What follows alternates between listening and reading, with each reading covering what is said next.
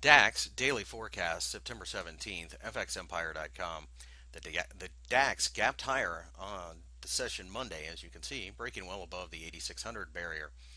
With that being the case, we think the market does look like it's ready to go much higher, and because of that, we feel that this market will continue to be one of the stronger ones in Europe.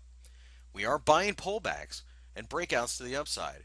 If we can get either one of those, we are more than willing to add to the position that we already have um, on the upside.